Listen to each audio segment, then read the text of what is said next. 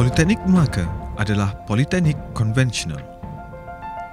Politeknik Melaka merupakan politeknik yang ke-11 ditubuhkan daripada 33 buah politeknik seluruh Malaysia.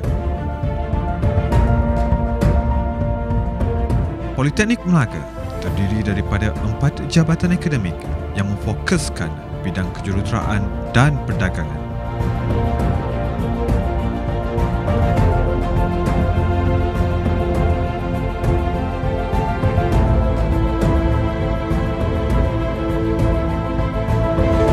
Politeknik Melaka menawarkan pengajian sejajar dengan era globalisasi terkini bagi memenuhi keperluan guna tenaga industri selaras dengan hasrat kerajaan untuk menghasilkan modal insan yang boleh mengadaptasikan diri dengan persekitaran luar.